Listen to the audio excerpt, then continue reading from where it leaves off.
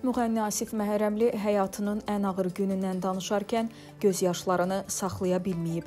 ATV-nin 1 dəqiqə proqramının qonağı olan müğənni bildirib ki, həyat yoldaşı rəhmətə gedərkən 7 aylıq övladı da ana bətnində dünyasını dəyişib. Övladım yaş yarım olarkən həyat yoldaşımı itirməyim həyatımın ən ağır günü idi. Ondan o tərəfə mənim ağır günüm olmayıb. 2 il sonra da atamı itirdim. El deyimi var. Deyirlər ki, atalar övladlarının çeynində həyatdan getsin.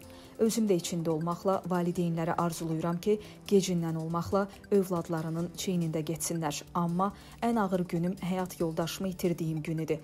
O anda onu düşünmürsən. Bəlkə də məni qınayarlar, amma bətində olanı düşünmürsən. Zaman-zaman mənə çox böhtanlar, şərlər atıldı.